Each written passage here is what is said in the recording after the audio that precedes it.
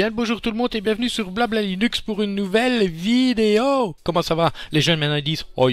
Ça va? Oi. Non mais t'es sûr ça va? Oi. Ouais bah c'est Oi pour tout. Donc Oi tout le monde. Alors une nouvelle vidéo. Que va-t-on voir? Ouais, sur le groupe, donc sur le groupe, pas sur la page, sur le groupe Blabla Linux, un post a attiré mon attention. J'ai remarqué que dans ce post, euh, sans citer nom, hein, certaines personnes, même bon nombre de personnes, euh, ne savaient pas trop ou pensaient savoir ce qu'était euh, une distribution serveur. Donc en lisant ce post, je me suis rendu compte que ben en fait bon nombre était un peu dans le vague, ne savait pas réellement, ou certains disaient moi j'utilise un serveur, j'ai mis comme environnement de bureau, je sais pas KDE ou quoi on parle d'une distribution serveur. What the fuck? Pourquoi un environnement de bureau? Enfin. Donc, je me suis dit, pourquoi ne pas expliquer ce qu'est une distribution serveur? Attention, pas un serveur, une distribution serveur. Donc, sur le blog Blabla Linux, une distribution serveur, c'est quoi? 3 VM prêtes à l'emploi. Et oui, donc vous lirez ça. L'article n'est pas encore publié. Directement après, une fois que la vidéo sera terminée, hop, je publierai l'article. Euh, voilà, donc j'explique en gros, hein, j'ai été pompé à droite à gauche, il y a un peu de ma propre plume, si je puis dire comme ça. J'explique en gros euh, ce qu'est une distribution serveur, j'explique aussi la différence entre un serveur euh, physique. Alors voilà la fameuse publication d'où qui a attiré mon attention. Voilà. Et alors, je me suis dit, ben tiens, pourquoi ne pas proposer 3 VM prêtes à l'emploi? Une Debian Server 9.0.0 Stretch.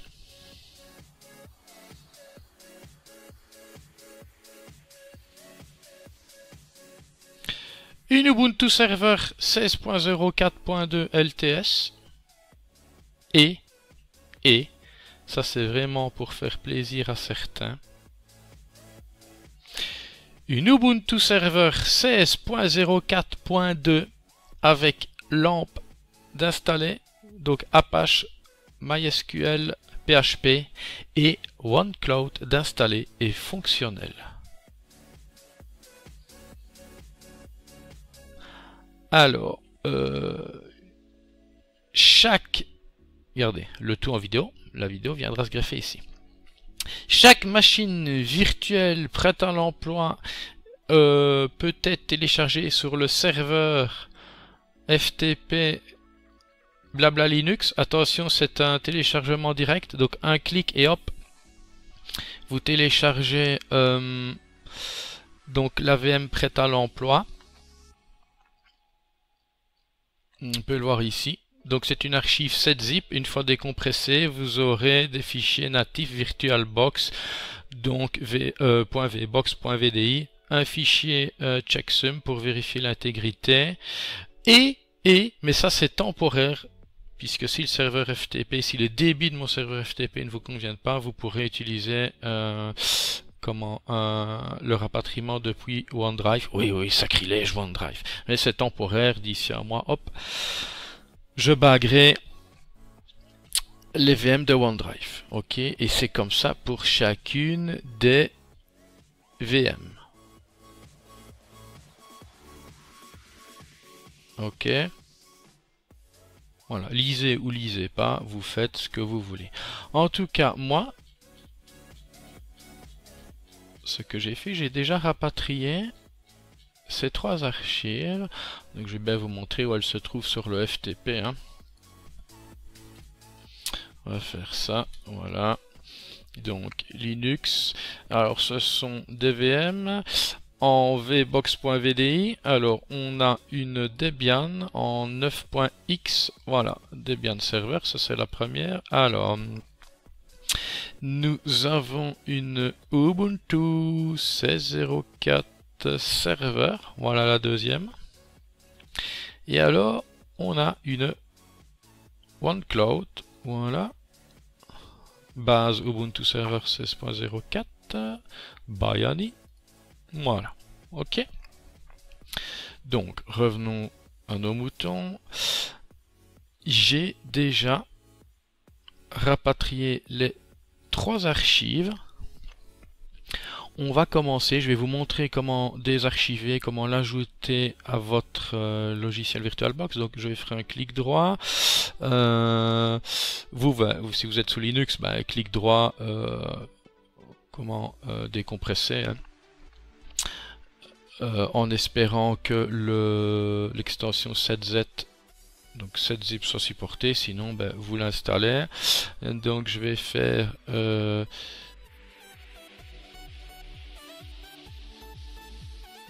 extraire. Voilà. Et on va faire ça pour chacune des archives. Voilà, une fois les, trois archives décompressées, on n'en a plus besoin, donc on peut les supprimer. Alors, on peut se rendre dans le répertoire. Hein on peut voir donc .vbox.vdi les snapshots puisque j'ai créé des snapshots. Euh, ok donc ce qu'on va tout simplement faire c'est appeler VirtualBox machine ajouter. Voilà je clique sur le point VBox voilà on fait ça avec les trois puisque moi je vais vous montrer les trois voilà. C'est simple. Hein Échec. Ah ouais. Euh...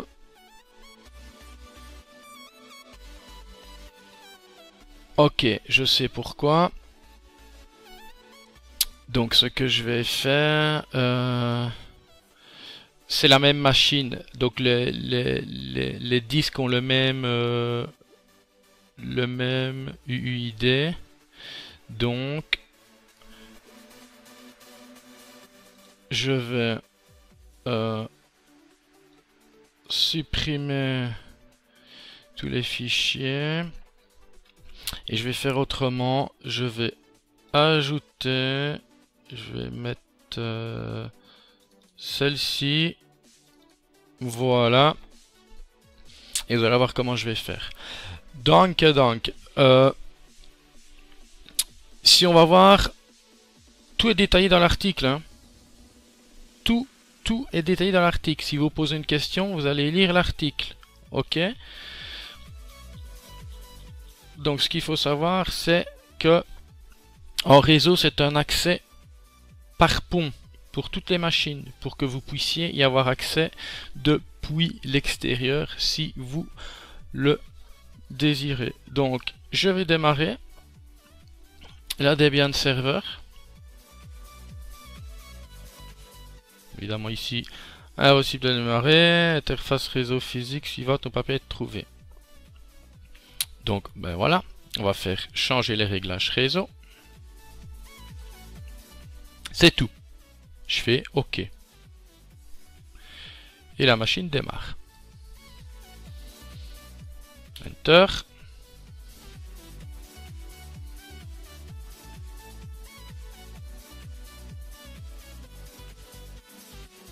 Je fais une petite vidéo pour vous montrer ce qu'il pourrait y avoir quelques petits soucis. Ben voilà, justement, comme il vient d'y avoir ici.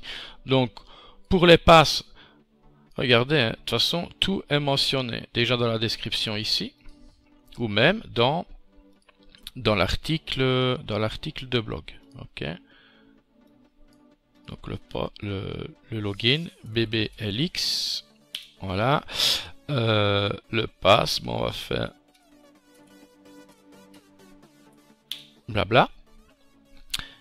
Si je veux passer en route, ben, SU route. Blabla Linux. Alors, regardez, vous voulez connaître l'IP de votre, euh, de votre VM que vous venez de démarrer. Tout est mentionné, comme je l'ai dit. On descend, on descend, on descend, et regardez. Voilà. Et c'est bien mentionné. Euh, ceci, ça peut être lancé en tant que simple user. Hein. Pas besoin d'être sous route. Donc on va faire slash sbin slash ip espace tiré euh, j'ai dit espace tiré 4 ADDR alors on peut voir que l'adresse IP octroyée à ma VM est 192.168.2.7 ok. Pourquoi j'ai besoin de cette adresse IP regardez pour se connecter en SSH donc justement j'ai sur un serveur une Debian 8.7.1 voilà je vais démarrer mon terminal. Et tout simplement, regardez, hein, tout est mentionné. Ok, juste à mentionner l'adresse. Donc, je me rends là, là, on va faire SSH, BBLX, le nom utilisateur, arrobase, 192.168.2.7 Hop. Alors, êtes-vous sûr que vous voulez vous connecter à ce serveur? Non, SSH, je connais pas moi. Oui, oui, tu peux. Yes, Enter. Le password. Donc ce sera... Euh, euh, euh, blabla Linux. Non, c'était blabla. Voilà on peut voir que je suis bien connecté à un SSH et je peux faire ce que je veux. SU root blabla Linux. Euh, je sais pas, moi on peut faire euh, allez apt update. Voilà. Ok, donc exit exit. Ah, c'est bon. Alors, euh, je pourrais vous montrer également depuis Windows si vous le désirez. Donc pour ça, je n'ai pas Putty d'installer sur cette bécane, mais par contre je l'ai sur une autre machine sur le réseau. Ça doit être celle-là. Voilà, on va passer en plein écran.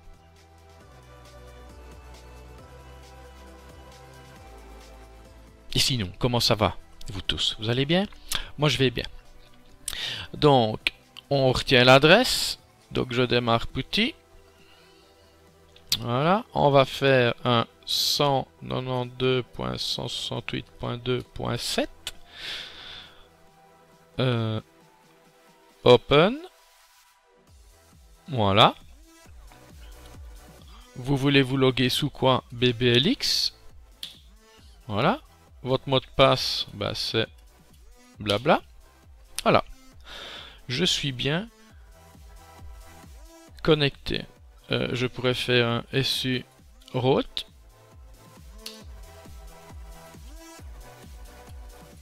Blabla Linux. Donc, apt installe htop.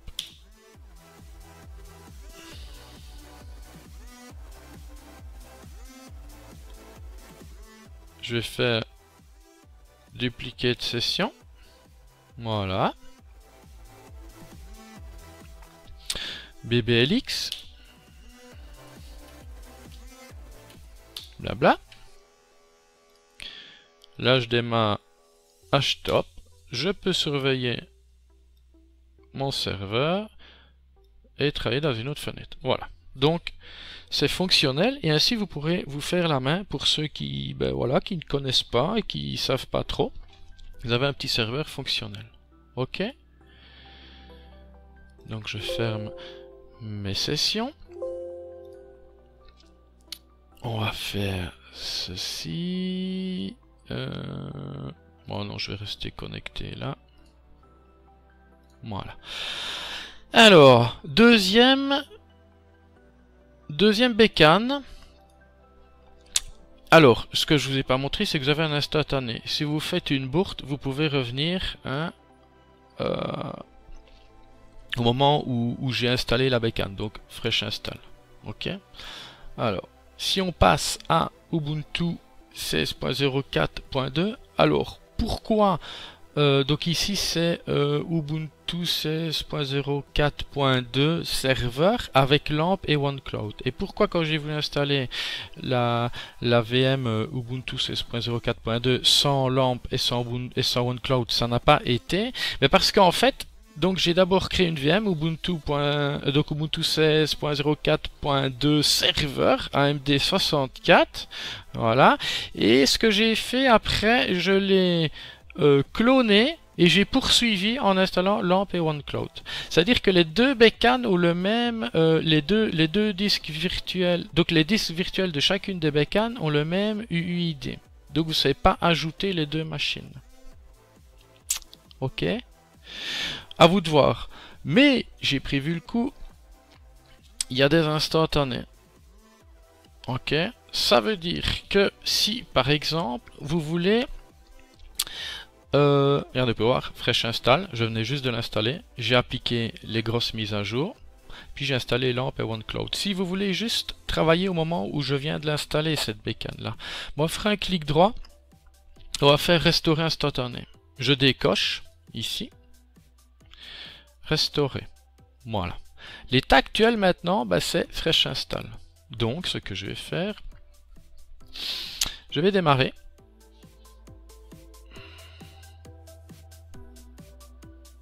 Même chose, hein. problème avec interface réseau. Changer les réglages réseau. Je fais juste OK. Et ma bécane va démarrer.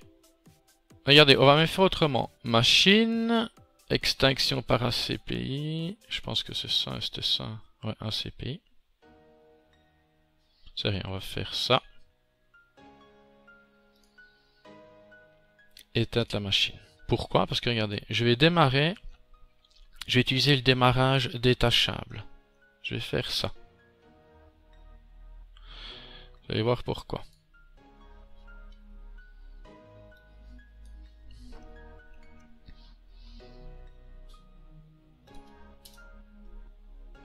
Donc là, on n'est plus sur Debian Server, mais Ubuntu Server.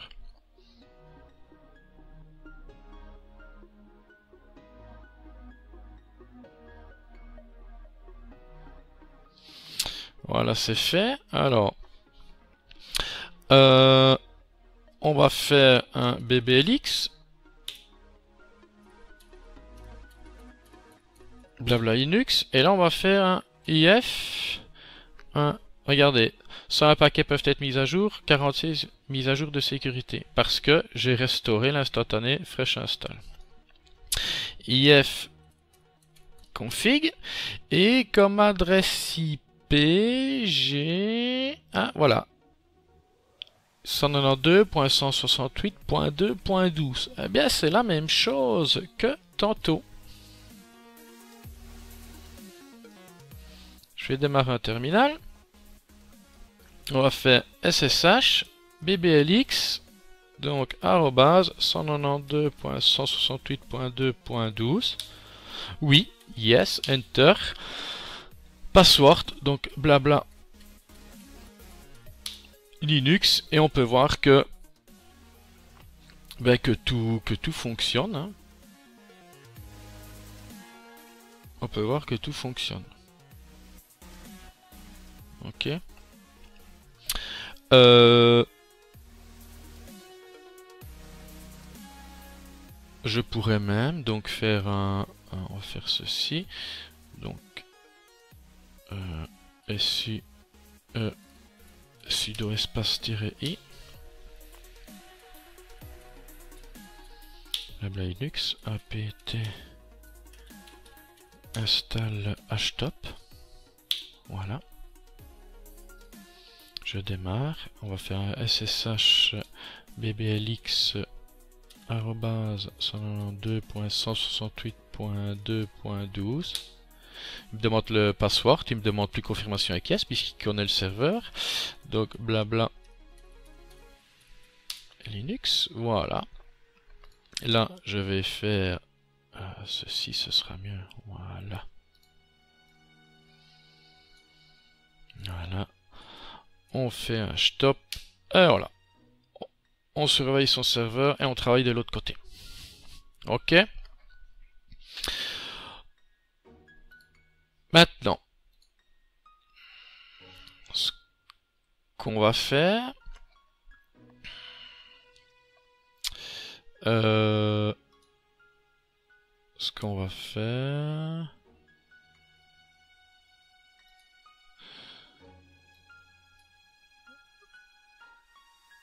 donc toi j'en ai plus besoin, je t'avais pas coupé mais je te coupe, voilà. Oula. Ubuntu. Ah ouais, je vous ai pas montré le détachable, pourquoi Regardez, écran. Euh, non, machine, euh, détaché Guy. Voilà. La machine est toujours en fonction. Ok, mais je n'ai plus de visu. Mais je peux toujours travailler dessus. Elle est toujours en route. Ok, donc je vais faire un SSH BBLX 192.168.2.12 blabla Linux, ok. Je suis dessus. D'accord donc pour ça il n'y a aucun souci.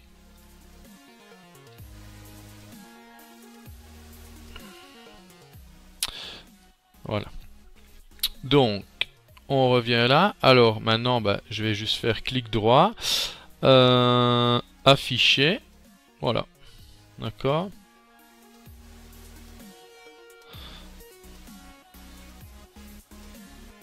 Ce qu'on peut même faire. Instantané. Voilà. Si je fais ça, clic droit. Ah ouais non, il faut d'abord que j'éteigne la machine. Donc on va faire fermer. Voilà, fermer, éteindre. Extinction. Voilà. Clic droit. Restaurer instantané. Restaurer. Je démarre. Changer paramètres réseau. OK. Et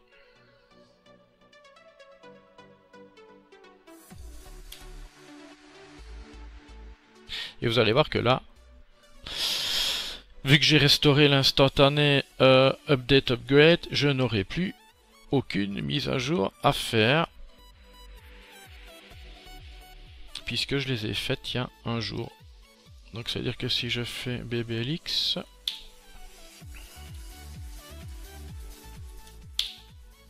Voilà, zéro paquet peuvent être mis à jour, zéro mise à jour de sécurité. On va faire machine, extinction, et là, je vais restaurer l'instantané lampe plus OneCloud. Donc, restaurer instantané. Restaurer. Euh, je vais quand même utiliser le démarrage détachable. Alors, qu'est-ce qui se passe? Échec de session pour la machine virtuelle.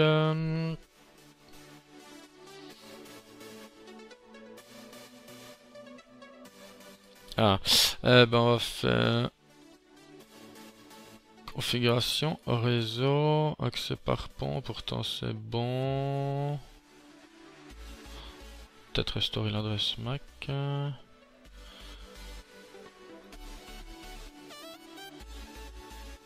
Je vais faire rien, je vais juste faire démarrer. Ok.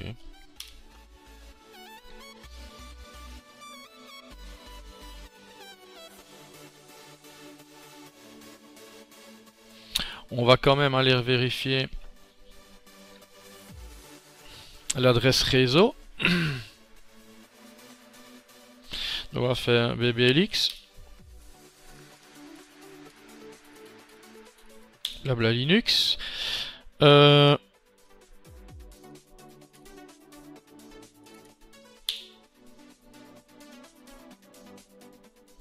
Ah, point 22, 192.168.2.22. Alors, en théorie, si je fais un 192.168.2.22 slash OneCloud, voilà les amis, votre OneCloud personnel. Vous n'avez plus qu'à le configurer. Attention, donc un utilisateur, un mot de passe. Donc j'ai installé MySQL. Euh, Maria, MariaDB n'est pas installé. Il y aura d'autres VM. Hein. Je vais sortir d'autres VM, euh, notamment si on va voir dans l'article. Euh, chaque VM, chaque VM, voilà, je les ai installés comme pour moi, donc pays Belgique, langue français, clavier belge pour les 3 VM. Je vais sortir d'autres VM euh, avec pays France, langue français, clavier euh, français. Ok. Mais rien ne vous empêche d'aller bidouiller. C'est ça Linux, c'est bidouiller, euh, farfouiller. C'est pour ça que j'ai mis, j'ai mis, j'ai mis, j'ai mis, peut-être plus bas. Voilà, vous remarquerez que ces trois machines virtuelles ont été paramétrées en tenant compte du lieu où je me situe. À vous de modifier cela en fonction de chez vous. Piste pour Debian. Vous voyez? Piste pour Ubuntu. Mais c'est quand même mis. Il n'est pas exclu que de nouvelles machines virtuelles sortent pour nos amis de France. Ok. Donc en attendant, vous avez un OneCloud fonctionnel. Et alors peut-être qu'il y aura des VM aussi où j'installerai euh, donc euh, allez MariaDB. Ok. MariaDB est à préférer si vous allez utiliser OneCloud pour une synchronisation. Euh, allez, pour utiliser le, client de, synchronisation sur votre desktop, par exemple. Moi ici, euh, je l'utilise. On peut le voir, il est là. Ok. Donc, on peut tester. Hein. Annie.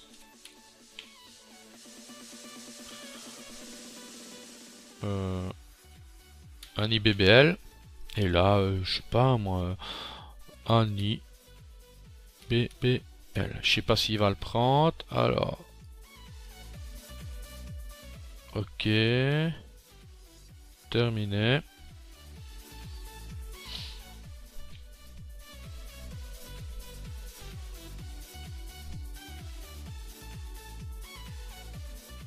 Voilà, vous avez un OneCloud fonctionnel. je dis fonctionnel, bon, ça se pourrait que vous ayez quelques petites erreurs quand même si vous lancez l'administration.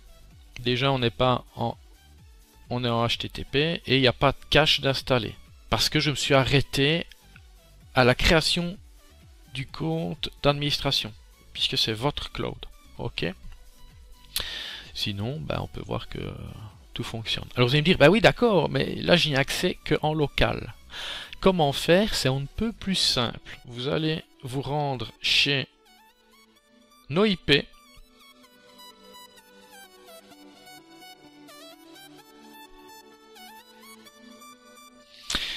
Vous allez vous créer une adresse de redirection. Par exemple, moi c'est aniperso.serve donc aniperso.ftp.serve.http.com. Vous allez installer le petit module de synchronisation hein, euh, qui est disponible sous Windows ou sous Linux. Exemple, exemple, exemple. Euh, sur cette machine-ci. Euh, attendez, il faut que je la retrouve. Il faut que je la retrouve. Celle-ci.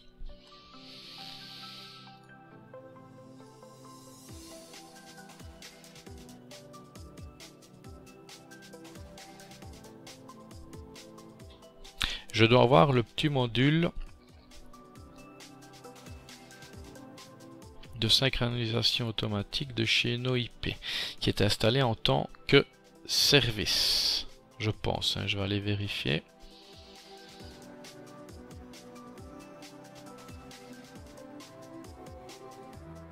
Voilà, Duc. C'est lui qui se mêle d'effectuer une synchronisation de mon adresse IP externe avec mon nom de domaine, si on peut dire comme ça, que j'ai réservé chez NoIP. Ok.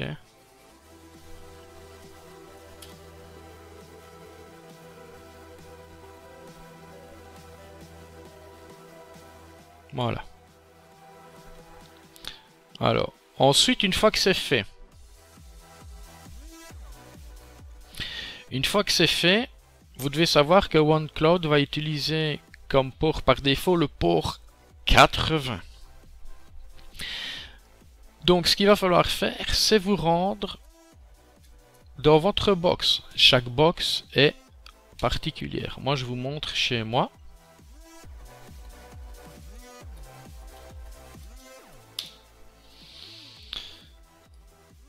Voilà, Advanced. Donc, voilà. J'ai redirigé le port 80 vers l'adresse IP locale de cette machine. Ça veut dire que quand on tape ANI, donc http anipersoftp.serveur.http.com slash OneCloud, vous arrivez donc nos IP connaît mon adresse IP externe, donc il redirige vers mon adresse IP externe et mon routeur va renvoyer, donc puisque c'est le port 80, mais on ne le mentionne pas quand on tape l'adresse, vers l'adresse IP locale ici. Ok. Si je me rends Là, j'ai un autre serveur qui est 41. Regardez. J'ai une machine qui est en route ici. Ben, c'est mon cloud. Mon cloud n'est jamais qu'une machine virtuelle. Ça veut dire que si vous tapez... Voilà. http.com slash onecloud ben vous arrivez sur mon cloud. Ben, c'est perso. Ok. Voilà. Donc, je vais m'arrêter là. Je pense que j'ai tout dit. Je pense, hein, je suis en train de réfléchir, mais je pense que oui. Je pense que oui. Ouais, ici, juste petite précision. Donc, extinction. Donc, si j'étais vous,